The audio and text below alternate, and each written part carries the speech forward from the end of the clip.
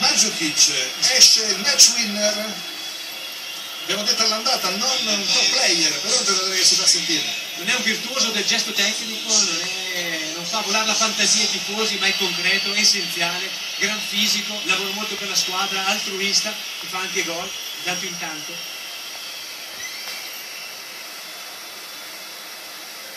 Pizarro scambia qualche impressione con Mandzukic sulla sistemazione in campo 34 anni peruviano ex Werder Bremen lo ricorderete già al Bayern Monaco dal 2001 al 2007 poi anche al Chelsea dal 2012 ritorno l'altra settimana ha fatto 4 gol in campionato nel famoso 9 a 2 all'Hamburgo Pizarro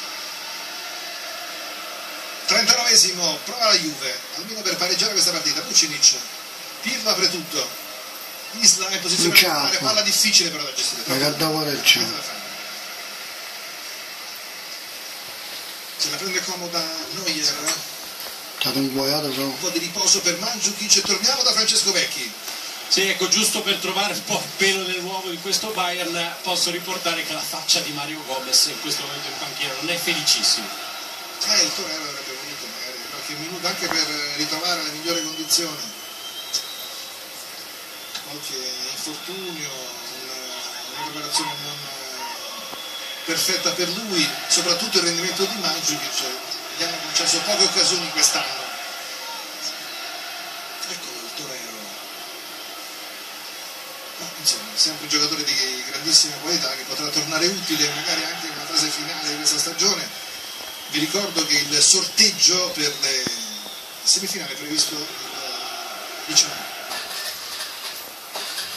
qui Vucinic prova a superare due uomini non ce la fa I 10 minuti finali del primo tempo sono stati il preludio a un secondo tempo con non molte energie da parte della Juventus. A mio avviso nel primo- nella prima parte aveva giocato alla pari contro il Bayern Monaco in questo secondo tempo no, si è vista proprio la quadratura dei bavaresi, la compattezza della squadra di Heinkens, la sicurezza nelle giocate, la tranquillità.